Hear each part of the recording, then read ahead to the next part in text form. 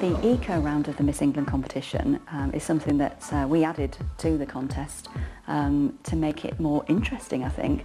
Um, there's so many different fashion shows and um, you know competitions which show girls modelling beautiful designer clothes and we thought we'd come up with an alternative.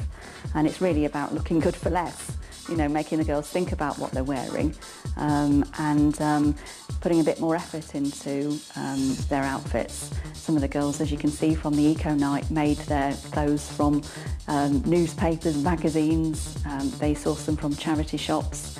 Um, you know, it's just a bit of a fun really, but it also has a, a, a good meaning because it means the girls think about uh, maybe wearing recycled clothing for a change instead of just buying off the rack. The Miss England finals are a two-day event.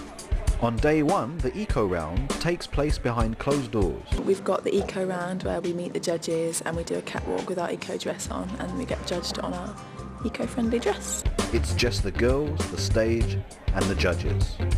They're all in dresses they have made themselves. Spirits are high as the girls take to the stage to show off their creations. Tonight I'm wearing a dress I've made from individually hand sewn roses which are cut up from silk scarves and then in the middle of each dress each rose on the dress there's a pearl sewn right into the middle and the necklace is a necklace and I've used it around my hair for sparkling effect so that's my dress this evening and if the first two arms don't work out and if you gotta make some trash well don't throw it out recycle we gotta learn to recycle we gotta learn to reduce reuse recycle my outfit is kind of crazy, a bit paintball. It's made from um, original American Vogue um, dress patterns and it's a nude colour so it's really in the season. Yes it is. My dress, I've stayed with the Cornish fashion today, being from Cornwall.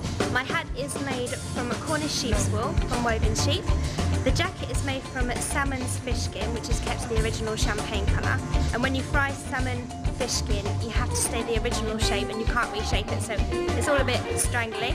The shorts are organic silk, and my boots are from a charity shop, Kids Children's Shoes.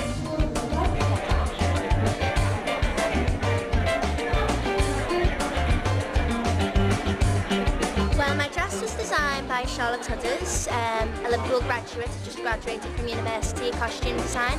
It's made completely out of curtain material from Boyles and um, it's inspired by India meets England when the Beatles travelled over to India, so it's got a bit of a twist with it. 18, 21, 24, 27.